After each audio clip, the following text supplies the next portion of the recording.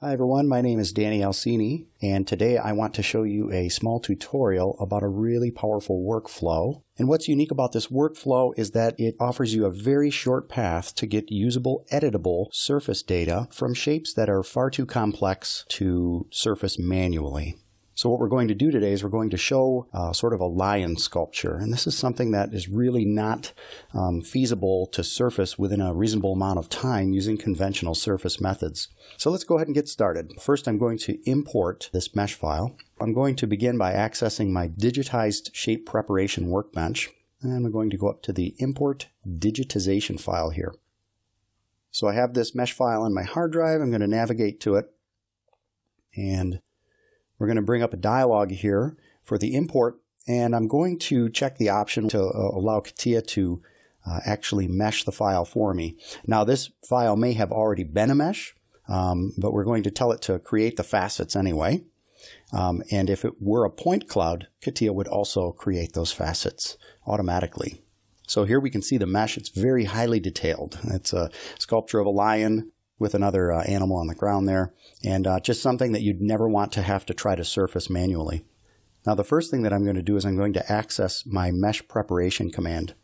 And what this command does is it walks me through a wizard type of a workflow where I can both clean and optimize that mesh. And this is something that you want to do before you begin working with almost any mesh. You want to make sure that it doesn't have any degenerate elements in there. Uh, we don't want any outlying uh, geometry floating out there in space. And we also want to make sure that there's no overlapping um, uh, areas where there are multiple polygons, anything like that.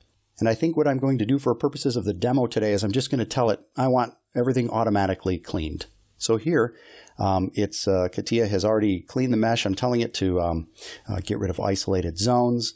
And uh, as I open the different areas here, I can um, pick and choose what specific things that I want to.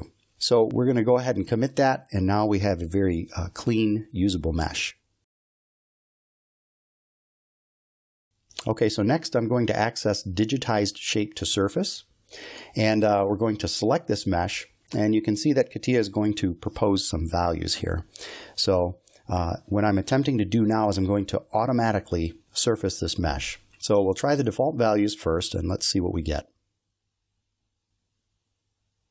All right, we get a warning message. And what the message is basically telling us is that it can't achieve the parameters that I've asked it to. That surface will not conform to the specifications that I gave it in the dialog. So I need to tweak some of the parameters a little bit. So I'm going to release the uh, system from full internal tangency, um, and that's because the nature of the shape, I'm not really concerned about that. Uh, for the mean surface deviation, what I want CATIA to try to do is to get within 0.05 millimeters of this. And then finally, I'm going to bump that surface detail up to 10,000. Uh, effectively, I'm just asking the software to try very hard. It's going to use more surface patches to accommodate that surface more accurately. And finally, for free edge tolerance, let's bump that down to about a quarter of a millimeter.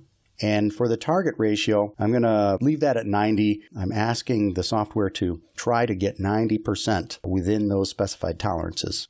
So when I'm happy with that, I'm going to hit apply and let's see what we get. Okay, so once again, we're just going to get that warning that not all areas conformed uh, within the targets that I wanted. Um, keep in mind, though, if this were a simpler part, uh, you will rarely get that warning because it will be able to achieve all of your targets. But the nature of this uh, shape, I'm really just trying to capture an aesthetic here. So now we have this automatic surface in here. And uh, this alone is very powerful uh, because in a matter of minutes, we were able to surface this mesh and get uh, some, you know, a really nice surface representation. Um, but that's not enough because if we want to further make modifications to it now, which is really, you know, that's a, that's a big percentage of uh, the types of downstream workflows that you'd think about. Um, because of the complexity here and the fact that it was done with an, um, an automatic surfacing algorithm, that patch structure just does not lend well to any kind of updating. I mean, it's almost impossible. Um, so this is where this unique combination of tools to CATIA comes in. Um, if you have a CATIA automatic surface, as we do in here, we can convert this to a sub D surface. Now, a sub-D surface uh, short for subdivision surfacing, and this is the data type that is consumable and created and used by Imagine and Shape. Okay, and you can see that it's it's pretty much just that quick. I've cut out probably a couple of seconds here and there in the video just to keep um, this tutorial concise, but really it takes about uh, 30 seconds to a minute to make that conversion. And now, the structure that you're looking at with all of the complexity, these are sub-D surfaces. And these can be edited with IMA. So let's take a look at uh, what this looks like. I'm going to go ahead and fire up my Imagine and Shape app. And I'm going to double click on this IMA sub-D model. Now you can see Imagine and Shape is going to put up its control point structure. Um, and as we know from the workflows of Imagine and Shape, this is a really, really convenient, usable, um, and fun to play with tool. I can select, uh, you know, regions of these uh, sub-D uh, control point structures, and in a very convenient and kind of an artistic way, I can push and pull them around.